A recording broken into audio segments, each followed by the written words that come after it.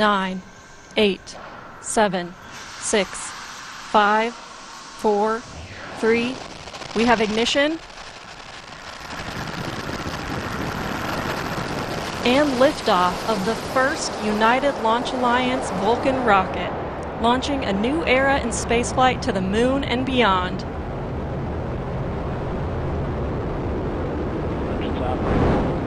Two good SRBs, hitting peak pressure on the SRBs.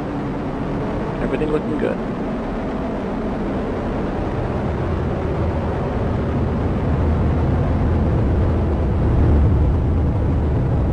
And we've got pitching out programs in, coming into normal rates for that event.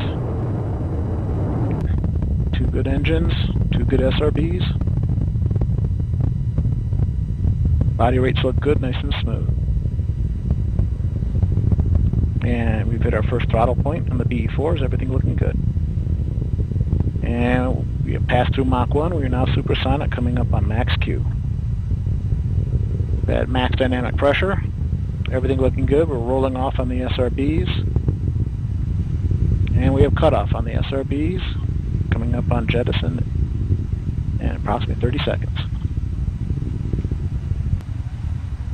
Seeing expected PU activity on the booster mains.